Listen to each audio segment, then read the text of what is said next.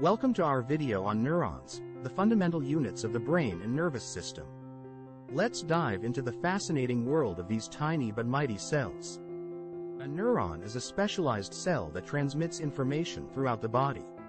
It consists of three main parts, the cell body, dendrites, and the axon.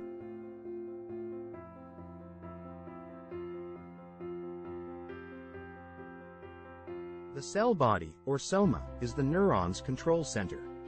It contains the nucleus, which houses the cell's genetic material, and organelles that keep the neuron functioning. Dendrites are tree-like structures that branch out from the cell body. They receive signals from other neurons and conduct these messages towards the cell body. The axon is a long, slender projection that transmits electrical impulses away from the cell body to other neurons, muscles, or glands. At the end of the axon, we find the axon terminals. These terminals release neurotransmitters into the synapse, the small gap between neurons, allowing the signal to pass to the next neuron. Neurons communicate through a combination of electrical and chemical signals.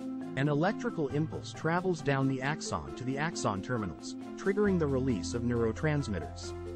These chemicals cross the synapse and bind to receptors on the next neuron, continuing the signal's journey.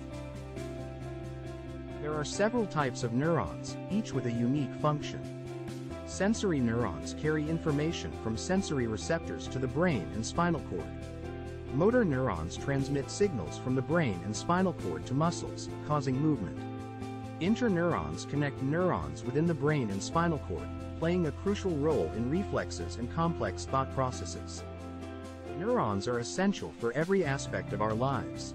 They enable us to think, feel, move, and experience the world around us.